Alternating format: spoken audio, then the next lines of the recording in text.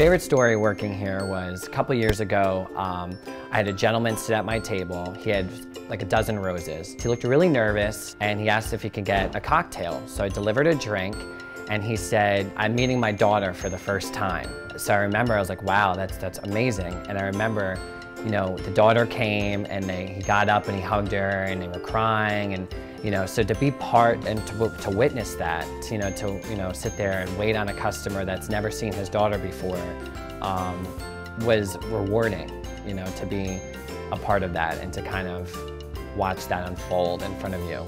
And also, you know, waiting on them and giving them the good Charlie Brown's food. You know, their first, really their first meal together. So it was, that was probably the, one of the best times I've ever had here, witnessing.